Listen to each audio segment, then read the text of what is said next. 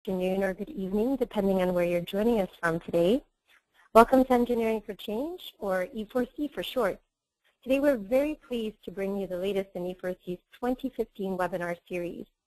Today's webinar is part of a focus series entitled Reflections on the Profession. Today we'll be focusing on women and taking their lead in engineering for global development. We developed the webinar in collaboration with Catapult Design, Water for People Uganda, and Dunia Health. My name is Yana Aranda, and I'll be moderating today's webinar. When I'm not moderating webinars, I work with the American Society of Mechanical Engineers, where I am a senior program manager in our Engineering for Global Development department. I'd like to take a moment now to tell you a bit about today's webinar, Women Taking the Lead in Engineering for Global Development. The subject of careers in engineering for global development is a popular one with E4C members. So we've decided to explore the topic in a new multi-part series on careers at the intersection of technology and global development. Today's installment features women who've established careers in engineering for global development. Historically, women have made up only 10 to 20% of the engineering workforce, but they make up a greater percentage in engineering for global development classrooms and are highly visible advocates for the profession. In fact, in a recent New York Times op-ed article, a female engineer who's actually been featured on E4C, noted that women seem to be drawn to engineering projects that attempt to achieve social good. Today, we've invited three leading women in development engineering to explore this idea and share their perspectives on the profession. I'd like to welcome Heather Fleming, co-founder and CEO of Catapult Design, Diana Keesiga, program engineer at Water for People Uganda, and Jordan Schermerhorn, co-founder of Dunia Health. Welcome all, and thank you for joining us today. Before we get rolling, I'd also like to take a moment to recognize the coordinators of the E4C webinar series generally. Along with myself, we have Michael Mader of ASME, Holly Schneider-Brown, Jackie Halliday, and Steve Welch of IEEE, who work on developing and delivering the webinar series. Thanks, team. If anybody out there has questions about the series or would like to take uh, to make a recommendation for future topics and speakers, we invite you to contact all of us via the email address visible on the slide, webinar at engineeringforchange.org.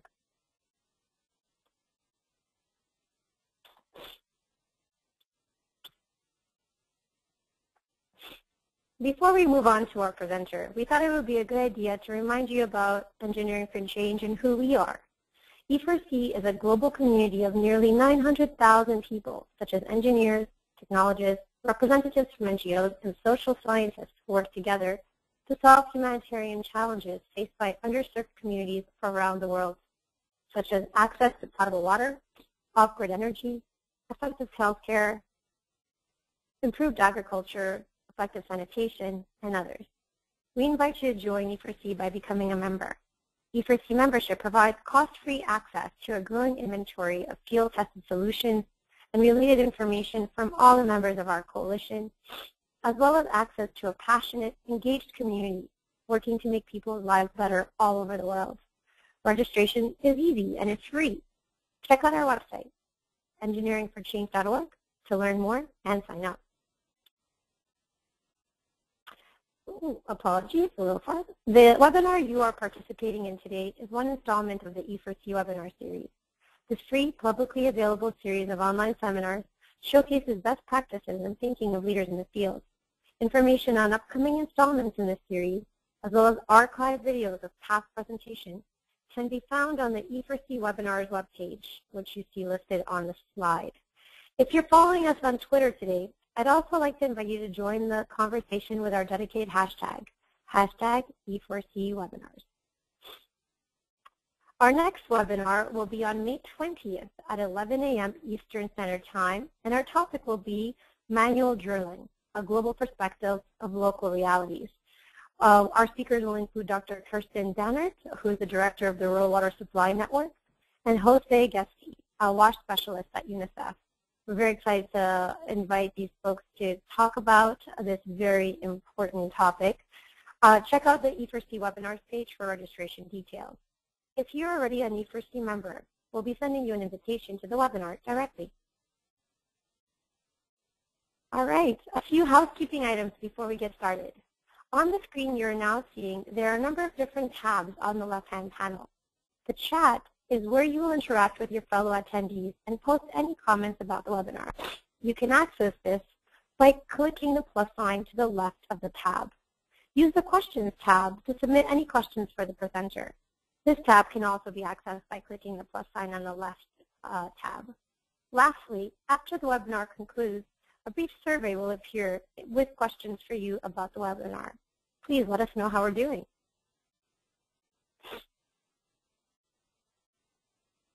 So I know we have quite a number of folks on today's webinar. Let's see where everyone is from today. Using the chat, please type in your location. All right. Unfortunately, I can't see the answers today, so I'm going to uh, uh, take a guess. I know that we have quite a few folks from around the world. Um, I see we have folks from New Jersey, from Canada. Welcome everyone from wherever you are joining us. All right, during the webinar, please continue to use the chat to type in any remarks you may have for your fellow attendees. And don't forget to use the questions tab to type in your questions for the presenter. If you encounter any trouble viewing or hearing the webinar, you may want to try opening up GoToWebinar in a different browser. Following the webinar, to request a certificate of completion showing one professional development hour, please follow the instructions on the top of our webpage, and the URL is listed. Also, please make sure to take a moment to fill out our survey at the end. Your opinions are invaluable to the webinar series, and without your comments and suggestions, we wouldn't be what we are today.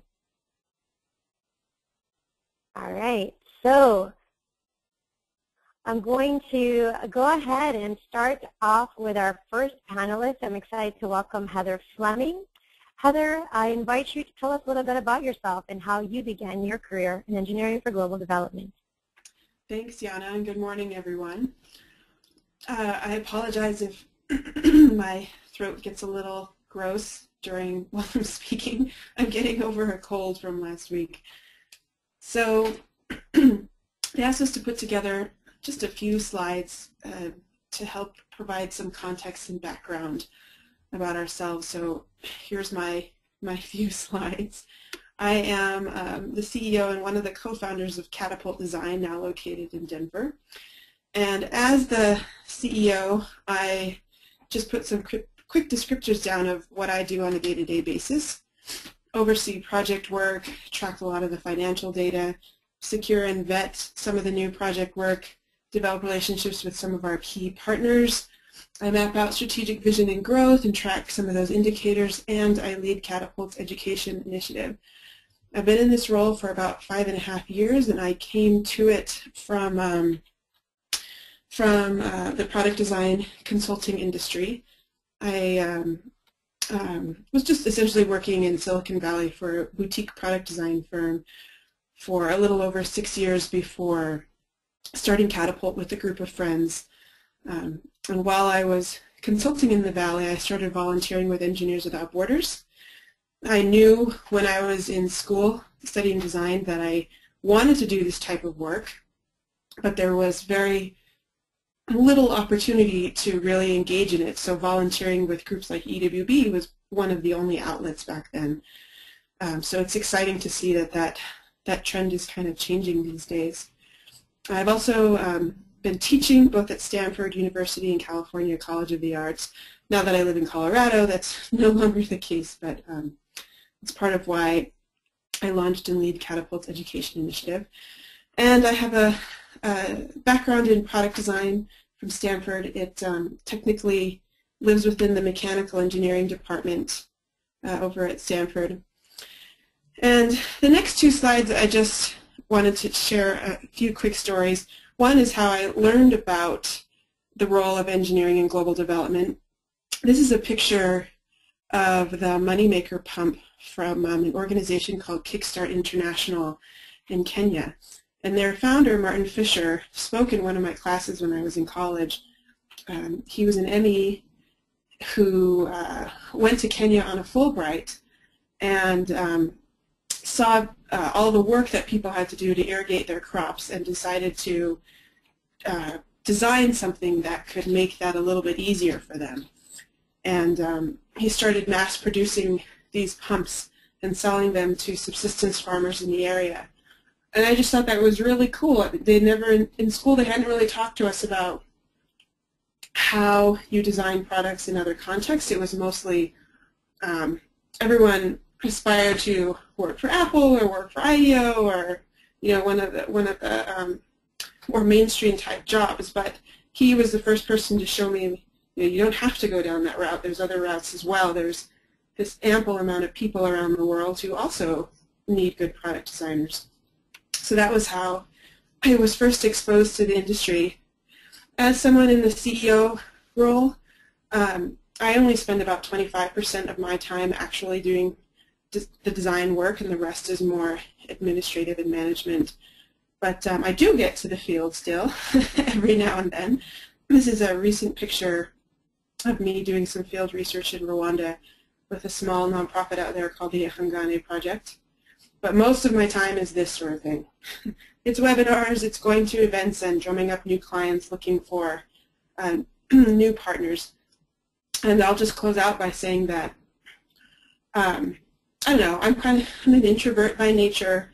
I definitely consider myself more of a, a creative um, person who kind of sticks to the wall in the back of the room. So this has been, starting Catapult with my friends and, and leading the organization has been a brand new experience. And um, if you're interested in global development and you're interested in applying your technical skills, there's definitely two routes to consider.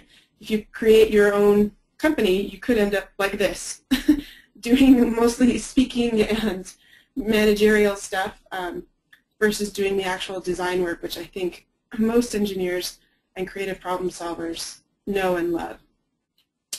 Um, so I will leave it at that. Thank you. Thank you. Thank you so much, Heather. Uh, this is uh, a really great introduction. And uh, from here, I am going to go ahead and hand it over to Diana. Or Jackie, can you hand it over to Diana, please? Diana, would you mind introducing yourself, please?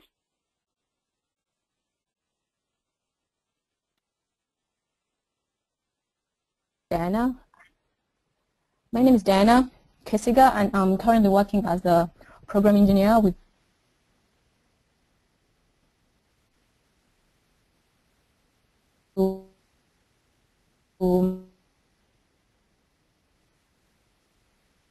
You're cutting in and out, Diana.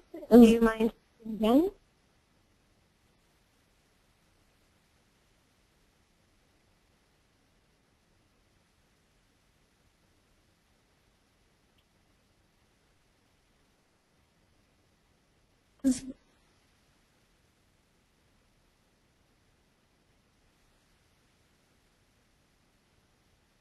Diana?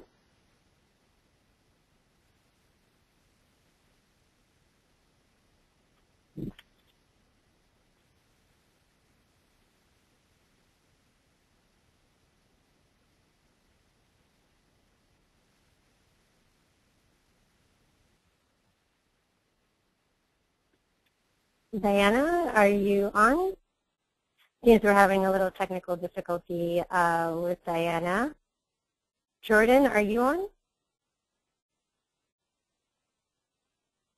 Our apologies, guys. This was happens on live webinars.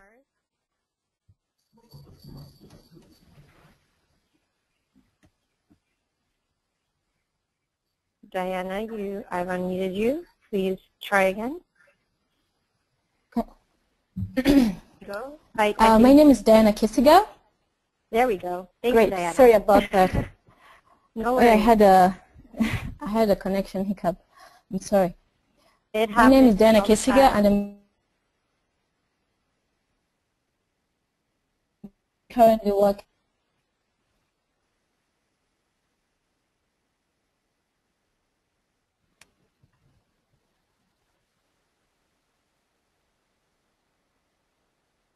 Can you hear me now?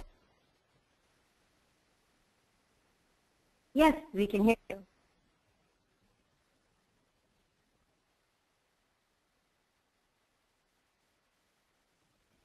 Uh, and now you're gone. It seems you are cutting in and out. Diana Keesiga is my name.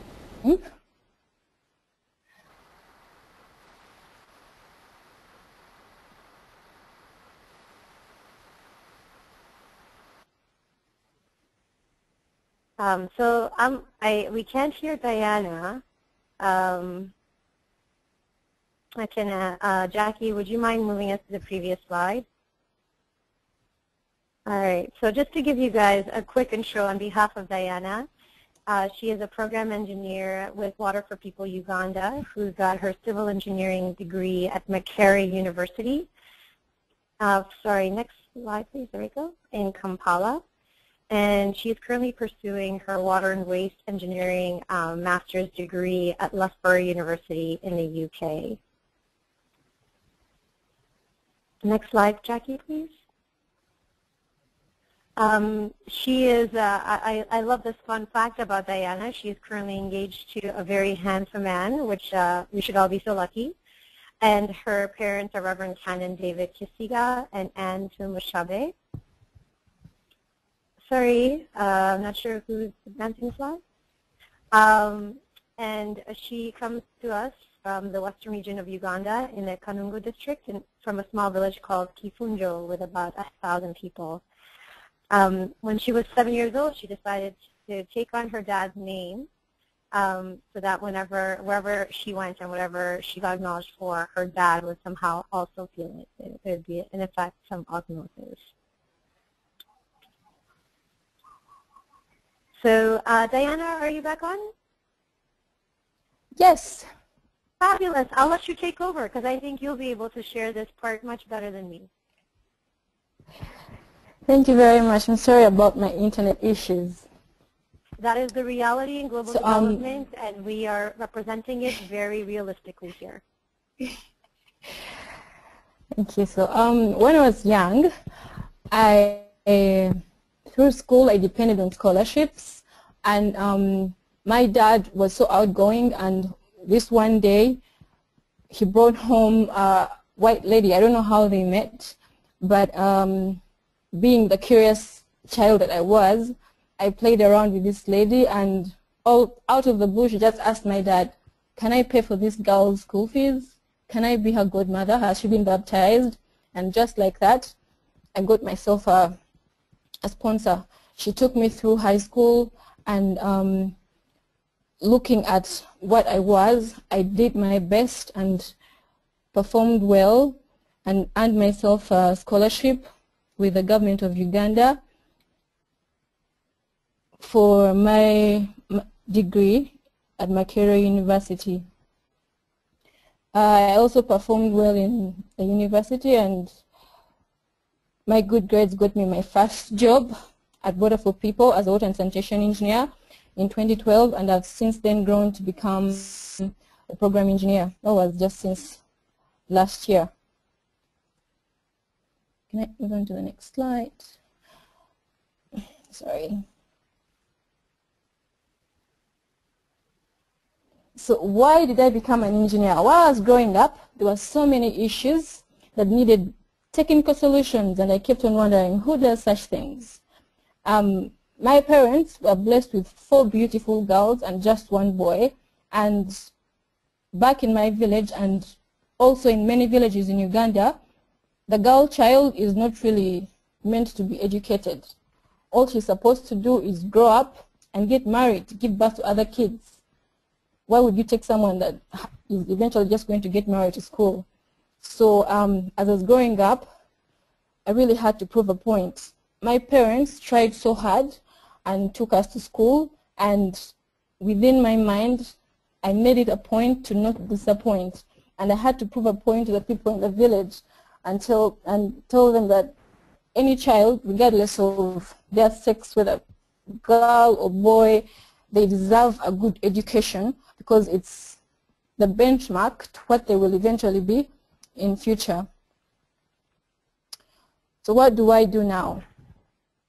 Um, I'm so blessed and I'm happy to have gotten a job with Water for People because they're helping me achieve what I wanted to actually do while I was growing up.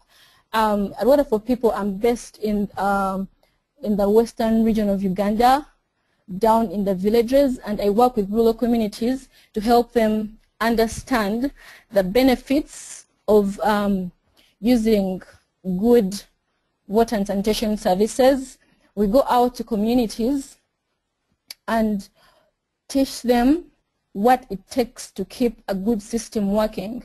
So as we are talking to these communities, we also get to, we want to find out from them what would you want to be your source of water. You just want a borehole? You just want a pipe scheme? What it is that you want? And if, you, if, if that's what you want, how are you going to keep it working? So we work with them, we teach them, we empower them to, to take care of these systems once they're in place.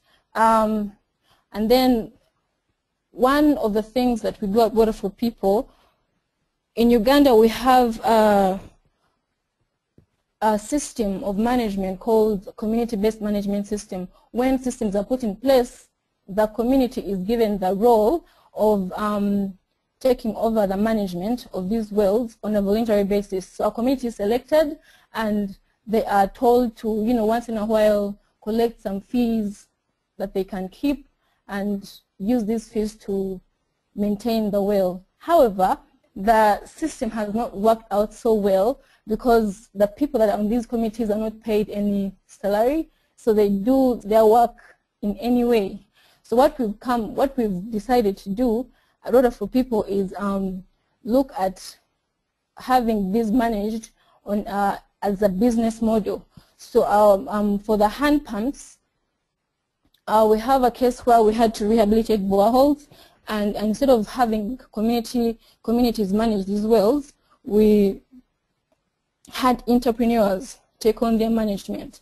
And for the entrepreneur to make some business out of this, um, they had to manage at least five boreholes. And because they cannot manage to be at each of these five points all at once, they had to find a way of um, tracking the sales made at each of these points. And that's how we came up with this innovation, the metered hand pump. It's one of the things I was tasked to do while I had just joined Water for People. So we, uh, we fixed a meter on the hand pump and this meter is now helping the entrepreneurs track the sales at each of their points. The meters themselves have enabled the beneficiary communities understand that water is a resource. Water has to be paid for and it should not be wasted. So everyone now understands why water has to be paid for and why it has to be maintained because when the borehole breaks down, money has to be available. Um, where we have pipe water schemes, uh, we have these outlet points, kiosks, and at kiosks, we've also designed these to be a bit wider than the normal kiosks, so that if someone at the point is selling water, they should not just be selling water. I, I did not provide a picture that has both sides open, but inside the kiosk, there are shelves that uh, allow the person vending water to also retail some basic domestic items like soap, matches, so that when someone comes to collect water, they can also pick these items. So that is basically what I do at Water for People, and I opted to start pursuing a master's at Loughborough so that I can improve and learn more about water and waste and design better facilities. That's me. Thank you so much, Diana. I, I love this photo. It's a very happy one. All right. So uh, last but not least, we have Jordan. Excuse me, guys. Allergies. Uh, Jordan, uh, please tell us a little bit about yourself. Hey, everyone. Um, so um, I guess like Diana, I, I come from this um, sort of from a master's student perspective, um, though I also think um, I'm working on a, a smaller scale project, um, which might provide a little bit of a different perspective. Um, so just to give you guys some of my background, I started out as a bioengineer at Rice University in Houston, and that was something I think I decided I wanted to be a bioengineer when I was like 12 or something absurd. Um, but I didn't really gain interest in engineering for global development um, until my senior year in undergrad. I got tasks or assigned with um, designing a, a, baby monitor um, for a hospital in Malawi and sort of exposure to that um, and, and, working on the particular constraints um, associated with that project, not only technology constraints, but um, but different um, environmental constraints uh, was sort of an intellectually appealing challenge to me, um, and that made me realize that this was a career path I was really interested in. Um, I didn't know where I was going to work. My undergraduate program was really focused on Africa, so that was um, kind of where I was thinking. Um, and I was very much a, a, technical, like in the lab sort of person, uh, focused on on hardware. Um, so after that, I decided that probably the, the elements of um, the engineering for global development challenges that I thought were most interesting um, were those kind of um, associated with the more amorphous constraints of implementing technologies, um, less about designing the particular thing and more about implementing the thing and making sure it works um, in practice. Uh, so I decided to go get my master's in global health. Um, I'm at Duke right now and uh, about three days from being done, so that's very exciting. Um, right now, my biggest uh, project is um, I co-founded Dunia Health, which is a mobile health company. Um, in an effort to, I guess, reduce my responsibilities, I'm doing focusing my thesis work on uh, on evaluating our program. Um, I consult for random engineering for global development projects. Um, I keep picking new ones up, which is very exciting. Uh, right now I'm working with a refugee uh, tent flooring system um, that's going to be testing in Lebanon uh, this summer and um, look at different elements of, of policies surrounding these technologies and um, user interaction. Um, I've become really focused on the Middle East, I think, uh, the past few years. Um, I feel like that's a place where there's a need for these technologies, um, but it's kind of, um, I guess, averaged out in terms of income. They all look like middle income countries with pockets of, of great needs. So I think that's an interesting place to work, um, especially in conflict situations or post-conflict situations. Um, so right now my big role is co-founder of, uh, of Dunia Health, and that should say software, I'm sorry. So we've really uh, moved over, I've moved over, I think, unintentionally to the software side. Um, do I have slide control? Oh, thank you. Um, so just to give you an overview of my work, um, this is a very, very basic mobile health program um, I don't want to overstate what we do. We just send SMS reminders or text message reminders to parents who miss uh, vaccine appointments for their children. Um, right now, my, my thesis project is um, coming up with a predictive model so we can predict who's at greatest risk of, of missing their appointments and send them a reminder in advance uh, to hopefully avoid the problem in the first place. Uh, so that's going well, and that's we're going to test that out this summer. Um, our partner is the UN Palestinian Refugee Agency, um, UNRWA. Um, that was organized by cold email um, and a very willing uh, department head of their health department. So um, I think that sort of illustrates how, how these things can work by happenstance. Um, one of the challenges we face is that sometimes our, um, our programs get interrupted by conflict. Um, so for example, my co-founder was uh, supposed to run a study in the Gaza Strip last summer, um, and that got interrupted um, by, by their war. So um, sometimes when our programs uh, go a little bit astray, we end up focusing more on advocacy um, and sort of bringing to light issues, um, health issues among refugees uh, in the Middle East. Um, probably the things I'm most proud of with this program are reducing time the nurses spend trying to track down patients and follow up with patients. Um, that's something we've heard that they really like. Um, we've returned a number of babies to care um, to get vaccinated after six or more months away. The parents just forgot and never came back. Um, and now those kids had their, their measles vaccines, um, which is always great. Um, and then the other thing is that a lot of the mothers who receive our alerts uh, sort of respond in a more emotional way. They'll say that receiving like a text message makes them feel like the the agency or the clinic cares about them. Um, and I think that's a really important, though sort of hard to measure uh, impact. Um, so I'm still a student right now, and I started this while I was, or right after I finished undergrad. Um, and I always kind of have a personal, I guess, reluctance to, to start a new organization instead of working with an existing partner.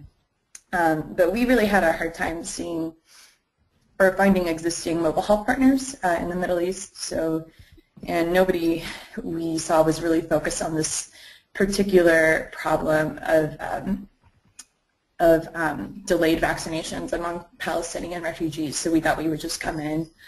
Um, the project worked with My Timeline, a mobile health program, is easy to work on from abroad. Um, it's easy to work on in short bursts uh, during breaks and during summers.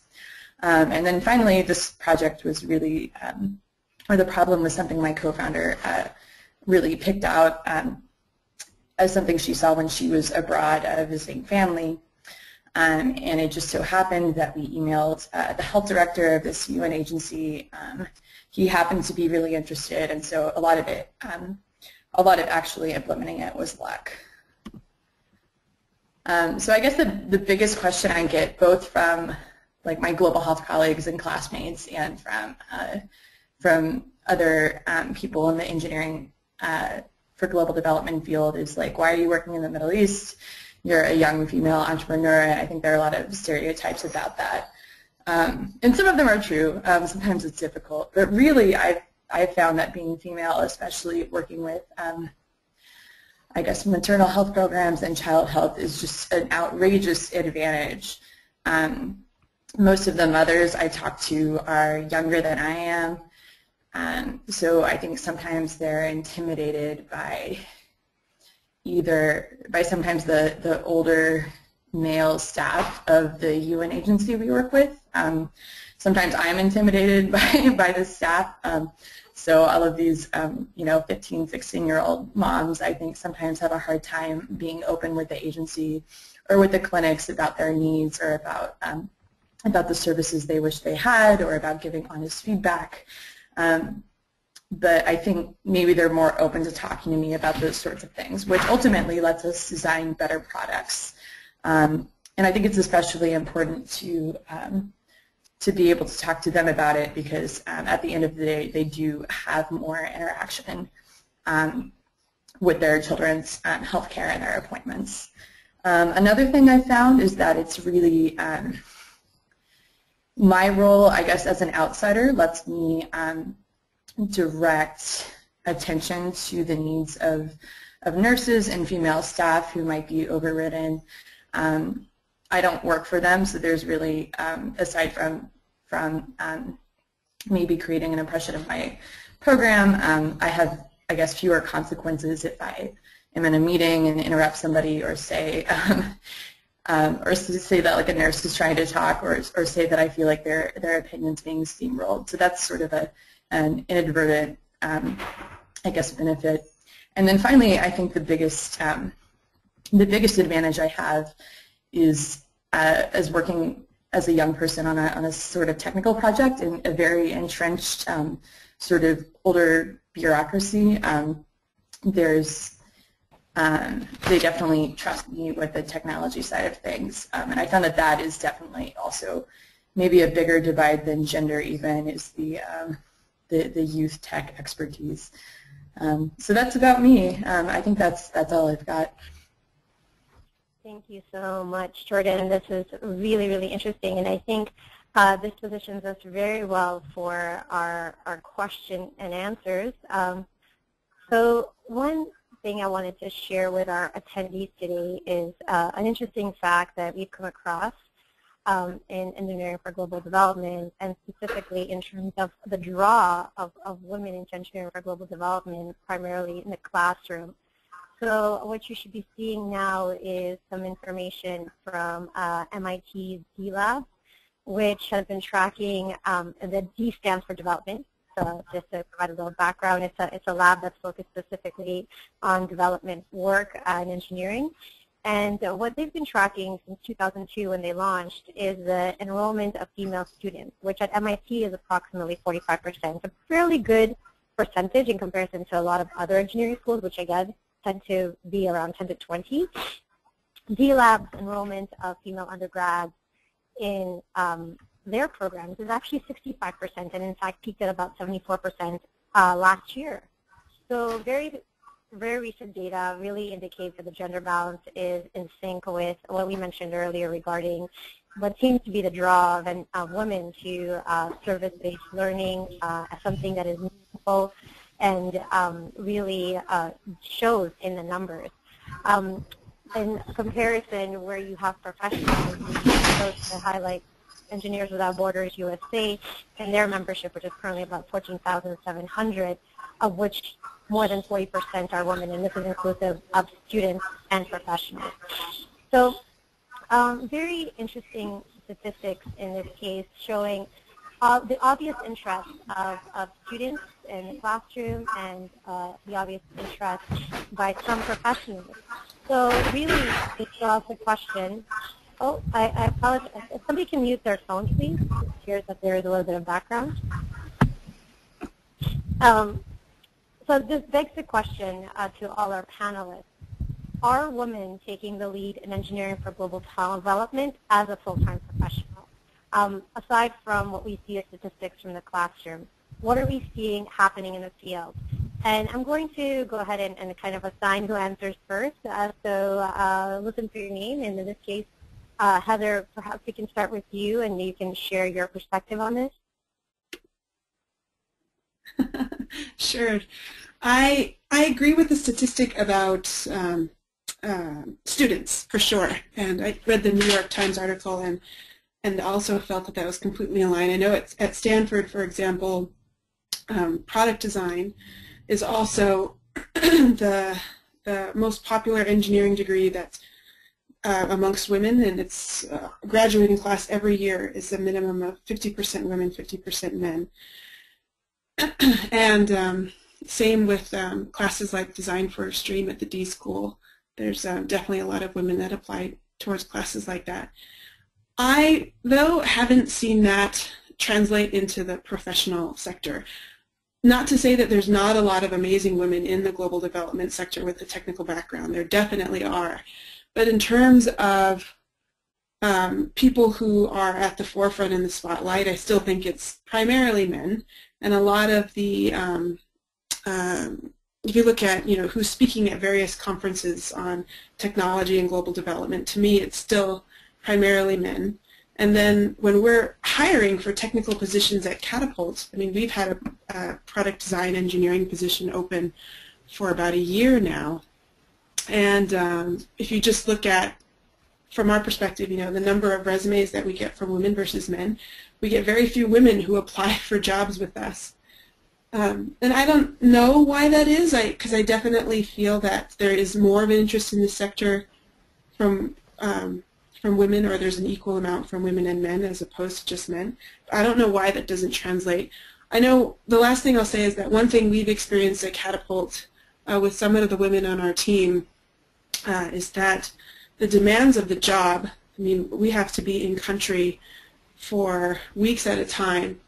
And um, some of our, some of the women on our team have very young children. Um, Karen Carter, a program manager, for example, has has two kids. One of them is under a year old. So she just can't participate in a lot of the field research um, until she's waiting until all of her kids are above the age of two. But we've seen that with um, with other women that we've wanted to hire for various positions they can't commit to a lot of the field research, which is so essential to working in global development. That's a very interesting insight, and um, I wonder if that's reflective of what is generally seen in the engineering profession.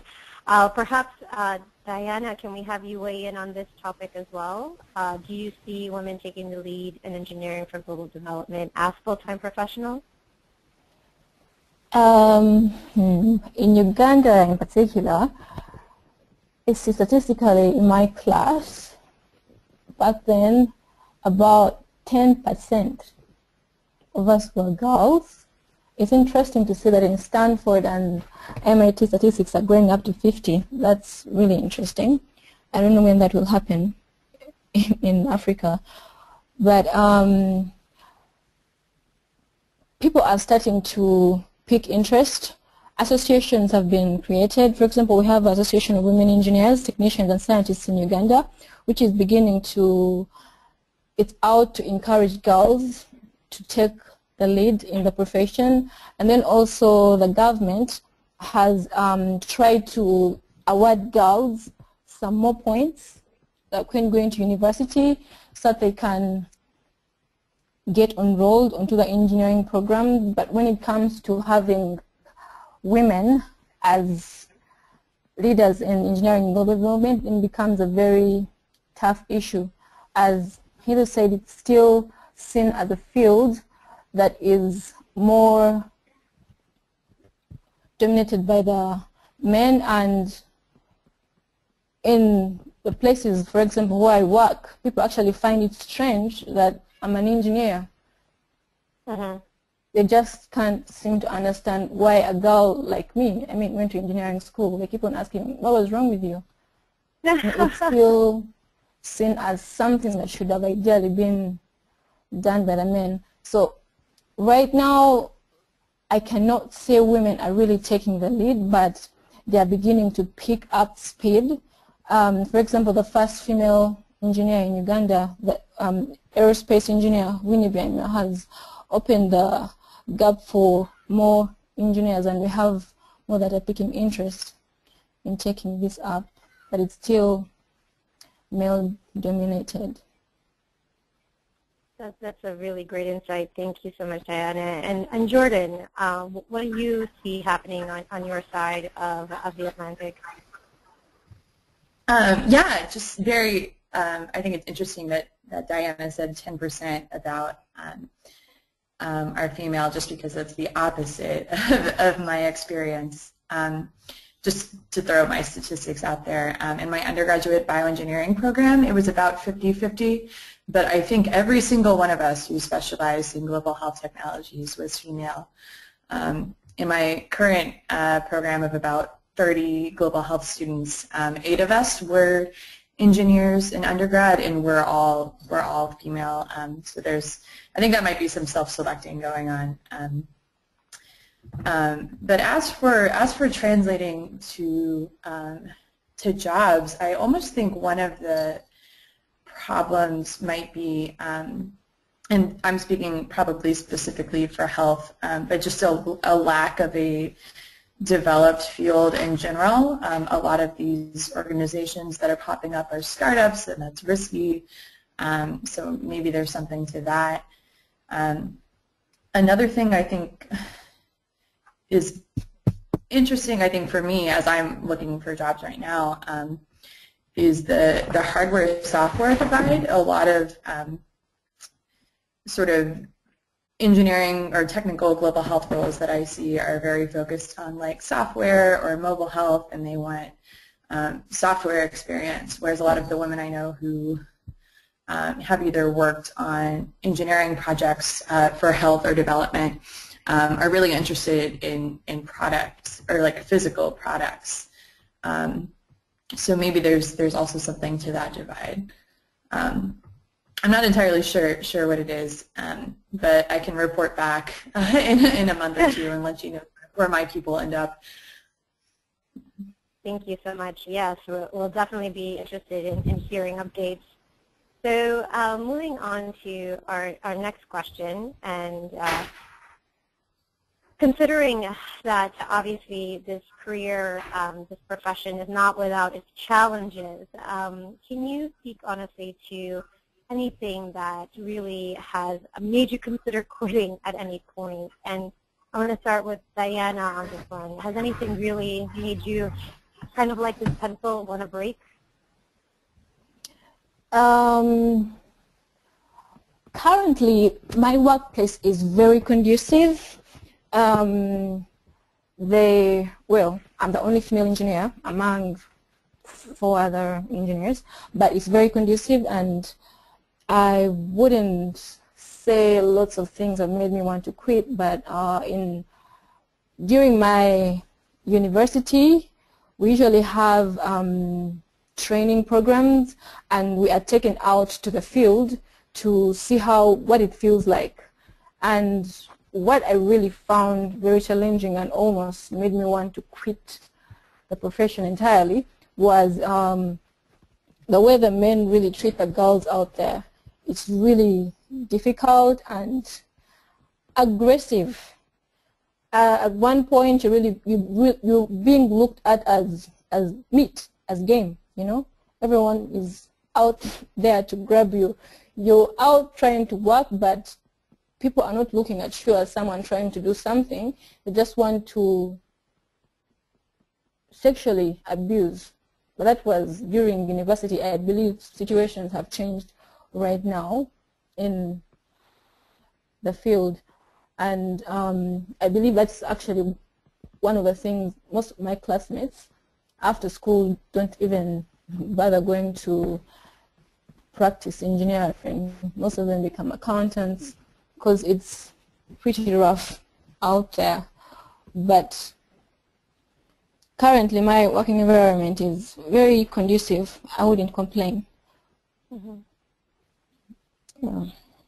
That's uh, that's very challenging conditions in, in the field. Um, Heather, do you want to have you have you experienced something like this? Do you want to speak to some of the challenges that that you've encountered? I have not experienced anything like that, but I'm not surprised, and and that's I was just sitting here kind of in shock. That's that's rough. My the things that have made me want to quit are more like um, I, I think a lot of people who are drawn to this sector or to international development as a whole are very much interested in, in change, in positive change. But the reality is the, the changes that you're trying to implement are oftentimes on a generational scale. And um, I feel like as designers and engineers, you know, we, we create something and we want to put it out there and see this type of change that it makes. And there's kind of that, and we, we have as a society this kind of uh, you know, quick turnaround reaction to things. Um, especially in the U.S., change happens so fast, but it uh-huh. doesn't in other parts of the world, and I, I feel like that can get really discouraging for folks to see things struggle to to gain adoption, or even if things are adopted, they don't bring about the impacts or the changes that were necessarily expected out of a society. And then you have to question, you know, well, what is my role anyway then? If, if creating these things doesn't necessarily drive the change, then what does? And that, that can be extremely frustrating. Of course. Of course. I, I, I can completely understand that. And Jordan, um, do you echo these kinds of experiences in any way? Um, yes, definitely, both of them. I think I have a, a, specific example that, that might sort of tie both of them together. Um, my, my big want to quit moment uh, came uh, last summer. I was meeting with an organization about expansion of our, um, of our immunization reminders, and um, this was, uh, this was somewhere in Jordan. And we had a big meeting, and it was me, um, a nurse, um, who was also around my age, and then a female staff member, and then like ten like older men, and this was uh, this was in probably a larger um, probably a larger organization, and this was probably the worst, I guess, instance of of gender barriers I've ever seen. Um, it ended up, it got to the point where there was a lot of um, talking over one another, and it got to the point where I realized that every single time the nurse tried to talk or the female staff member tried to talk, they would be immediately interrupted.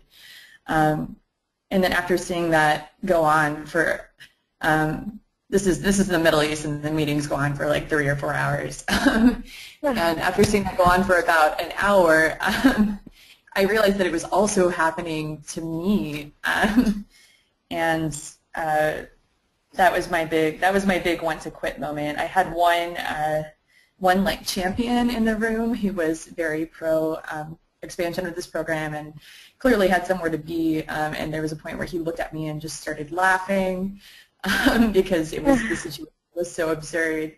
um, the the nurse and I ended up making eye contact, and she had the information that I really wanted. She she knew like how the system might fit into the clinic, um, and so I guess the way I tackled this was I started asking her very specific questions, and then I started not turning my attention away from her um, when other people began talking over her. And then if somebody, started, there was a point where I, I did that and one of them then like started yelling my name and I just said like, oh, I'm sorry, I'm listening to this nurse right now. Um, and, uh, and sort of that was the point where I think, where I think everybody realized that like, that like I thought this was um, kind of absurd and that ended up working. Um, I think if anyone, I don't know if anyone's ever experienced a similar situation to that, um, but the thing that worked for me there was being like very blunt and like very almost commanding and then focusing on on like numbers and specific tasks. Um, so sort of sticking sticking to the like the facts as much as possible. Um, and it worked, so so that that all all ended up well. But that was definitely my big want to quit moment, um, and it's passed. Of course, of course, and I think you, you naturally rolled into our, our next question uh, in terms of how to tackle that and what continues to motivate you. Uh, this is our, our carrot and stick here, and um, uh, considering the challenges that, you've all experienced out in the field from whatever um, trigger, what, what continues to motivate you? Uh, perhaps we can start with Diana this time. Um, why I didn't really decide to quit back then, I had a point to prove back yeah. to the people from home. I just couldn't quit and I had to keep on till the final point. And right now what makes me even want to continue doing what I do is seeing the people smile. You know, you find someone in this state and you help them get something affordable that they couldn't have afforded otherwise, looking at what people feel and um, what our developments are, are changing out there and raising people's hopes that there's a better to um, like um, in Kamwenge where I am now, um, the education department usually takes me out there to go speak to the kids hey, there's a female engineer here has made it to this particular level. You see, you can make it. So, you know, wanting to put, give someone hope that this can happen. You know, you don't have to give up. It really makes me want to, to go on. That's really encouraging. Um, how about Heather? What motivates you? Oh, I agree 100% with Diana. I remain skeptically optimistic about the global development sector despite my experiences. But I, I think a little bit like she's saying, I, I think it's built into my DNA just to continue to try. I, I, I would think it would be such a depressing world if at every time you were you know, tempted to just give up if, if everyone just did all the, the time. So I, um, I, I too feel like, I don't know, I like how she said she has a point to prove. I think there's a little bit of that in, in me too. I, I just don't want to work on anything else. These are the types of problems that I want to work on. I'm just, um, realistic about whether or not I or Catapult or whatever organization we're working with will actually be able to solve them. It's for me, it's more of the process and and the um, the continuing to try. That that's very important, and I think you raise a good point regarding um, kind of being grounded uh, around what is really solvable and understanding what you can contribute, but obviously recognizing the the potential to, to really inspire and, and to really make a difference. So, um, Jordan, do you, do you want to speak a little bit about what continues to prevent you from quitting whenever you have those tough moments where you're being talked over? Yeah, um, I'll maybe speak to like a more practical level. Um, so when I want to quit and I'm in the field, um, I think what I'll do is, what I normally do is like leave the sort of um, like NGO, like bureaucratic level, headquarters level um, office level environment and go talk to people who um, might be interacting with my technology or like um, or just ask for, for feedback on different issues and sort of talking to patients and like talking to, to normal people who aren't sort of in the theoretical space around either technology or development and who just like want the, the solutions or like the want the, the end result that we're trying to provide. Doing that, I think, really provides me with perspective and makes me more um, optimistic and sort of excited and encouraged. Um, if I'm uh, in the States, I think what I'll do, um, like right now I'm, I'm finishing up my thesis and I want to quit like every five minutes. Um, so so uh, when I do that, I, I, go back and like look at patient interviews and look at the look at the good that's been done so far, um, and look at the feedback we've gotten so far, and I feel like that's really encouraging. So um, for me, definitely like sort of leaving the the bureaucratic space and, and returning to um, like Reality. the practical, like, normal impacts is is really helpful. Yeah, that that makes a lot of sense, and I think um, likely resonates with with all of our presenters today. So we're running kind of short on time, so I'm going to combine the next two questions. Uh, you've spoken to some of this already. What has surprised you as a woman working in this field? Uh, and I think this actually fits quite nicely with our final question, is, which is what do you wish you had known when you started? Um, so perhaps uh, you can combine the two of these in your answer and, and speak to what do you really feel like you wish you had known when you, when you got started in this field. And um, I'm going to start with Heather for, for this uh, particular question.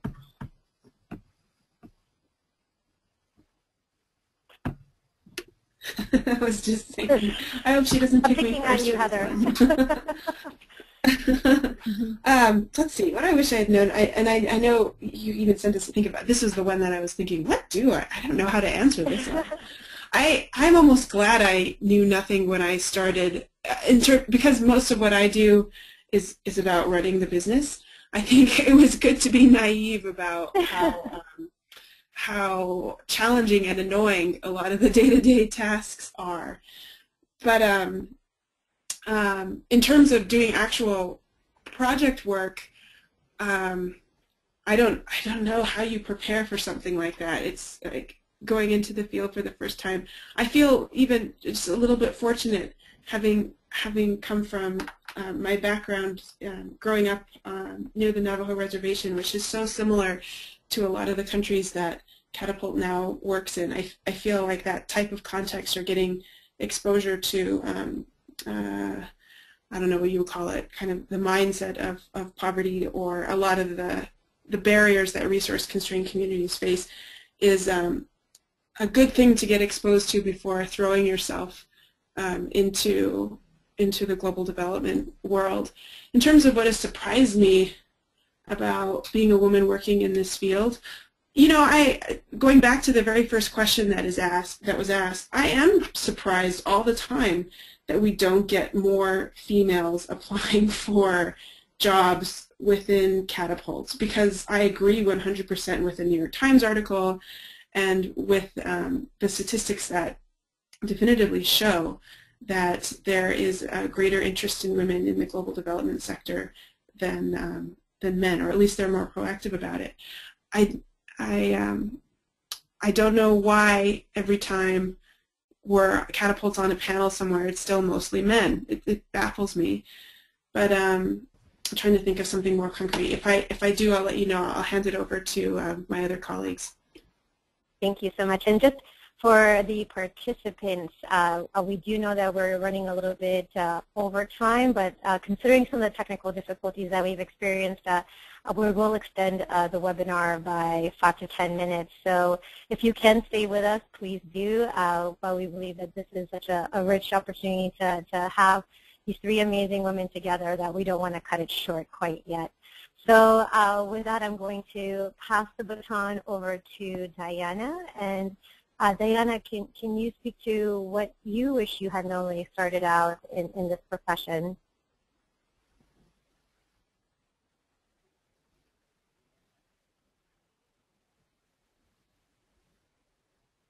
Uh, Diana?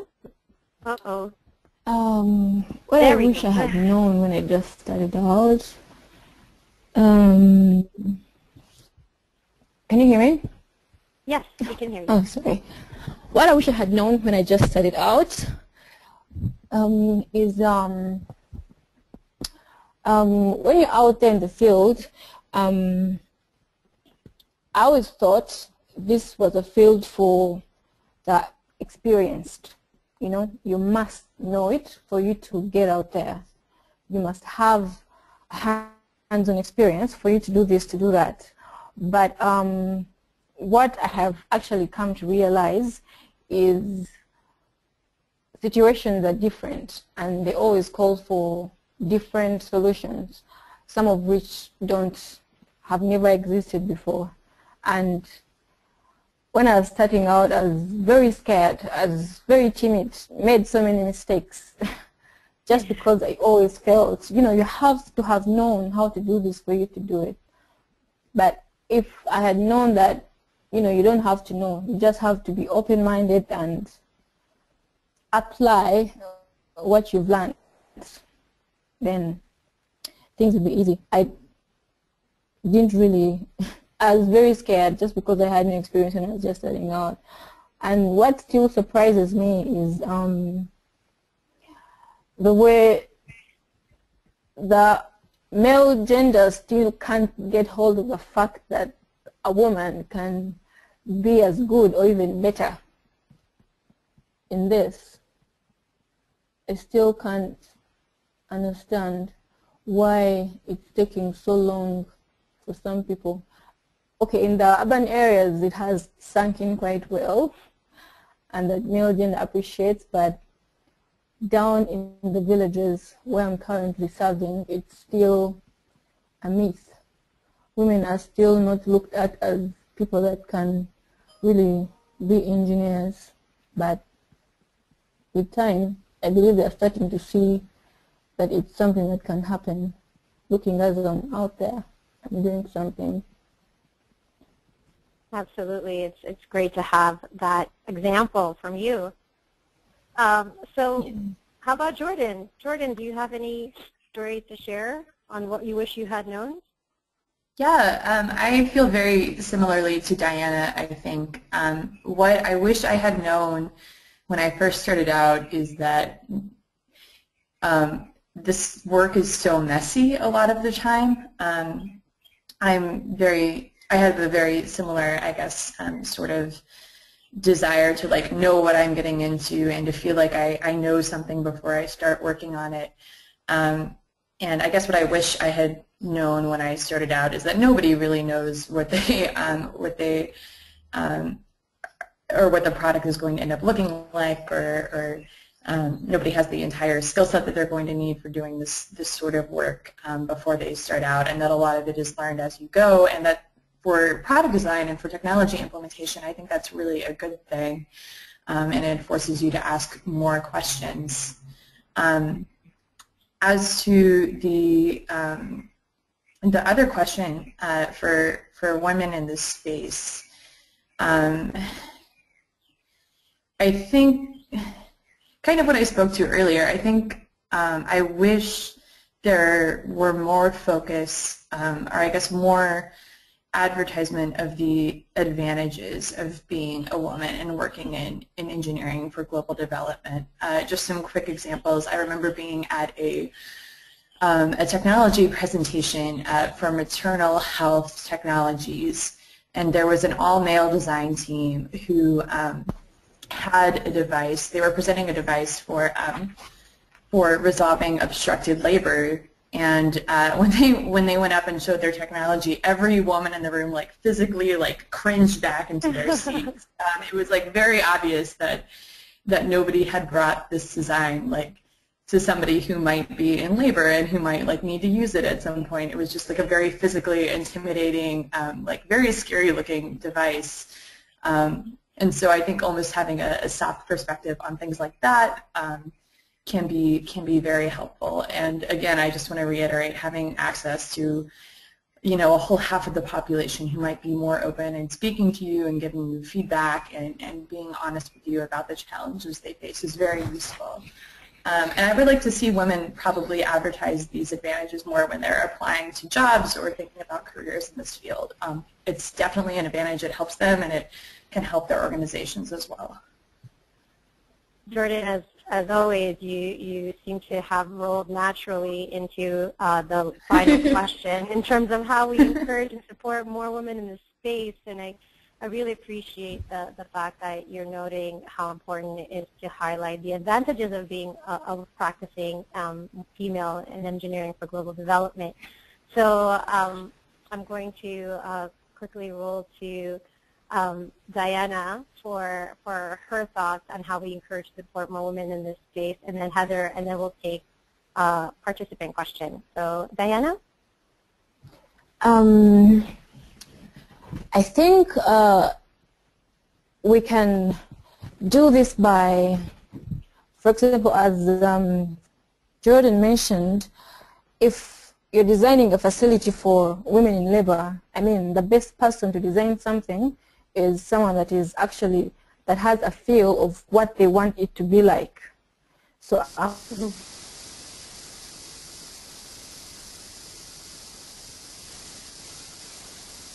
Uh-oh.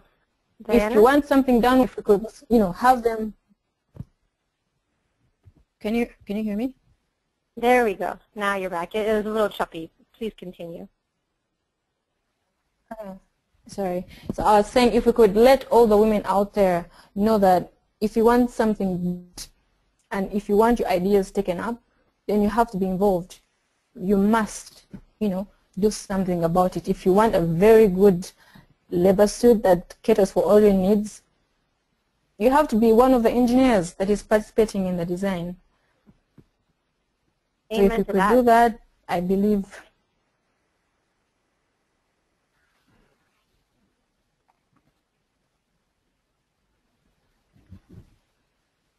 Uh, okay. Um, thank you so much, Diana. That's very, very um, encouraging, and I agree with you entirely. Um, Heather, do you want to give us your final thoughts on this? Yeah, I'm, I'm glad Diana brought that up because one thing that I was hoping would, would come up in this webinar is the fact that the majority of products that are being designed for base of the pyramid type markets are being bought or consumed by women. And yet we still have, like in the U.S., majority uh, males designing these products. I think there's a dire need for, for more women in the space to be designing products for other women. Uh, and as to how you do that and how you encourage that.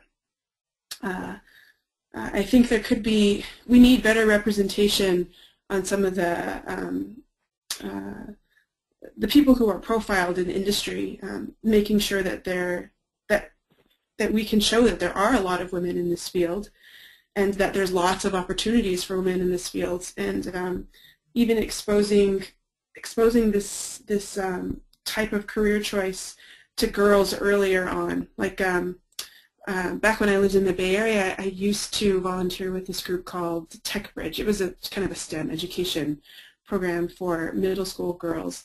And, um, you know, that's about the time when people are learning what an engineer is. And I think when a lot of young girls think about engineers, they think, they don't think about global development or helping people. They think about, I don't know, um, gears or computers or something like that. But there's, as this, as the, um, the engineer's role in global development hopefully becomes more prominent in the next few years, I hope that that will appeal to girls at a younger age and give them something to um, aspire to and not just discover further on down their career or once they're in college.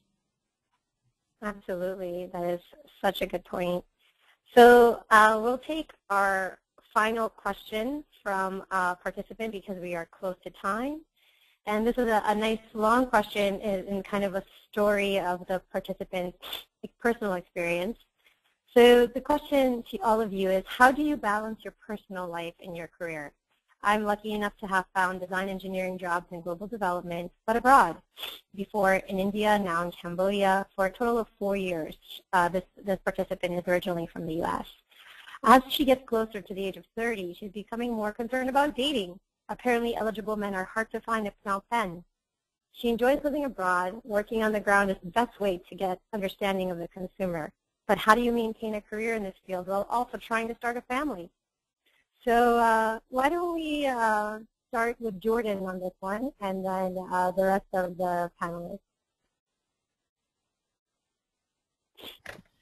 Wow, yeah, I'm not sure I have the best perspective on this because, I mean, as as a student, I don't really have a lot of balance right now, and I'm, I'm definitely not quite to that to that stage in, in my life. But I think um, for me, a lot of it involves um, combining responsibilities as much as possible um, and sort of planning planning, I guess, in advance the sort of both career and life priorities I have and, and planning a timeline in advance. Um, so that's, that's kind of what I'm working around right now. I think maybe the other participants might have more perspective.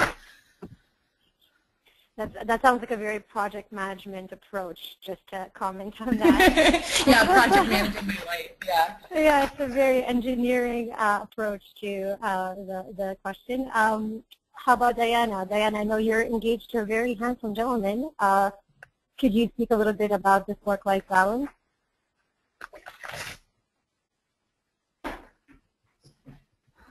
I have work.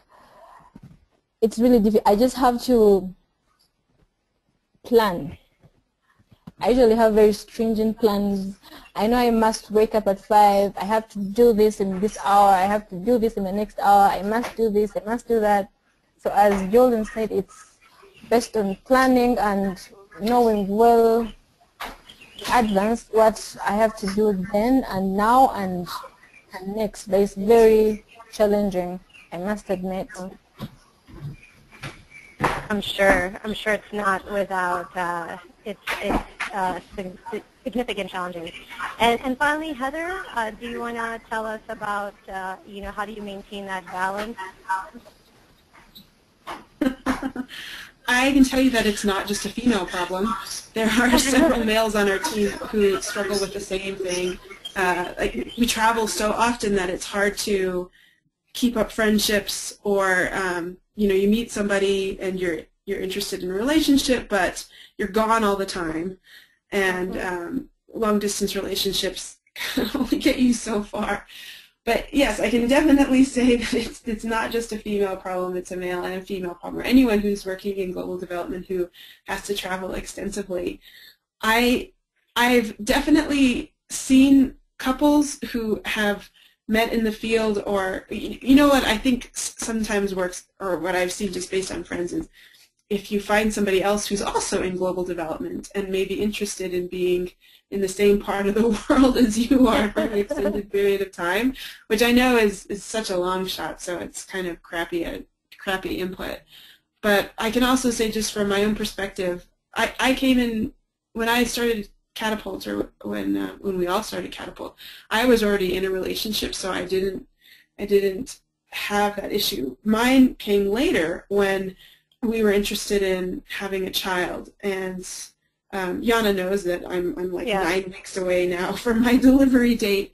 But um, so we've somehow made it work. But I've, like the other panelists have mentioned, it's definitely required. I mean, I know there's they say there's no way you can plan for a child, but just in terms of logistics and how I'm going to go on leave from the organization and what that means for the projects that I'm on and the travel that I had already signed up for, it was a big headache to move all of that stuff around mm-hmm. to make way for um, a baby coming into my life. And I've seen some of the other women in our team go through that too.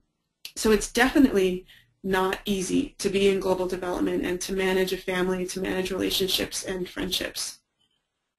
It sounds like it requires a lot of good planning. Um, perhaps this is where you start using your project management tools. Uh, start making those flowcharts. um, I suppose uh, uh, if anybody out there is inspired to develop uh, an app for matchmaking global development professionals and helping them coordinate the same country to be in at the same time, I think this is a, a great opportunity. As we've heard, there's obviously a need. So with, with that, I, I want to thank you um, for presenting, for sharing your honest perspectives and, and really practical tips on, on what it takes uh, for uh, women who are professionals in engineering for global development. We truly appreciate the time. Thank you, Heather, Diana, and Jordan. And thank you to all of the participants for attending the webinar. For those of you who are interested in, in, receiving your professional development hours, please follow the instructions on our page and use the code that is noted on the slide.